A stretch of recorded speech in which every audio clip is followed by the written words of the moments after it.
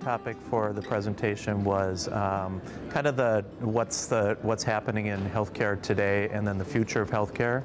Um, you know, quite honestly, I did it because um, I it's one way for me to continue to stay on top of what's happening in the industry.